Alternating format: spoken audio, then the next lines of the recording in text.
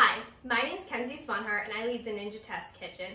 And this is the Ninja Foodi 2 Basket Air Fryer, the air fryer that cooks two foods two ways and finishes at the same time.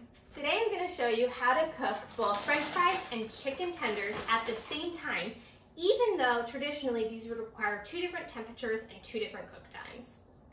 In the first basket, I'm gonna place my french fries. I'm putting about a pound of french fries, or half of a bag, into my uh, cooking basket.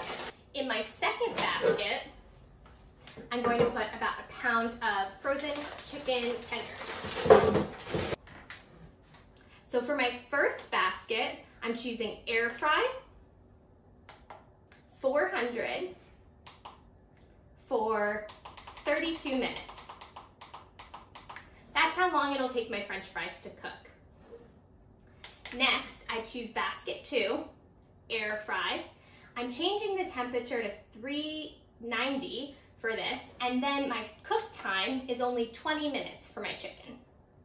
Now I push start stop.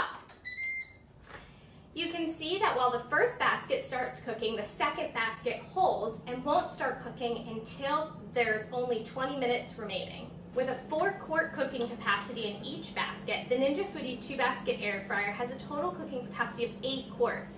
That's a lot of french fries, chicken wings, and anything you need to feed a crowd. Plus, you can make a full meal at once. So you can cook your chicken, your pork in one basket while you're cooking your veggies in the second. Traditionally, when you're using an air fryer and you're cooking two different foods, you may have one done before the other, and then your fries will get cold before your chicken's ready. But with the Ninja Foodi 2 basket air fryer, both of my foods are done at the same time. So I've got a pound of french fries and a pound of chicken nuggets.